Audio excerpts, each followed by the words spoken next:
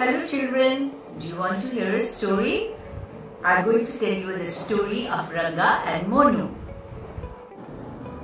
Once upon a time, there was a baby elephant. His name was Ranga. He was alone. He had no friends. He wished he had someone to play with.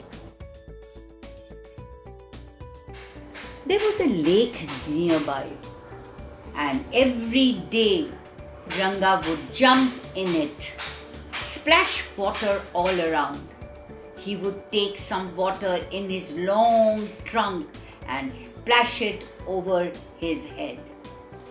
But he still wanted some friends to play with. Day, he saw four monkeys playing cricket. They had a bat and a ball. Ranga came out of the lake and watched the monkeys. He asked, I'm Ranga. What's your name?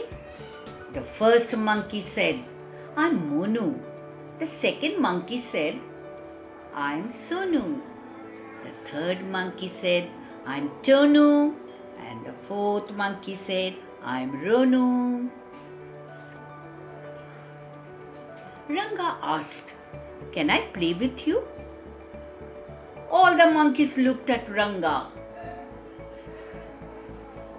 Monu said, You can't play with us. Look at your nose.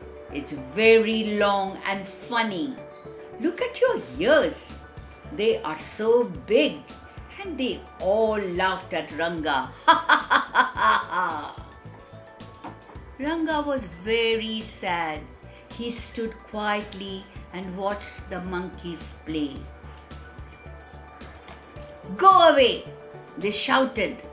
Ranga went to the lake for a swim. Suddenly, he heard a scream. Ranga rushed out of the lake. The monkeys were all jumping and shouting. Monu had fallen into a deep ditch. Help! Help! Help! They shouted.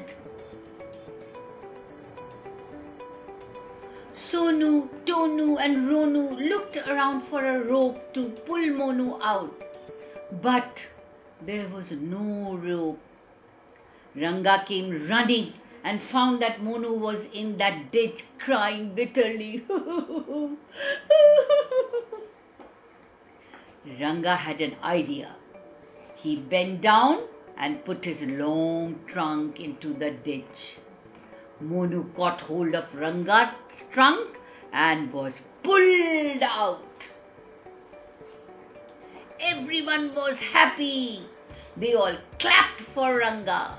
Monu said, Ranga, it was your long trunk that saved me. We are sorry.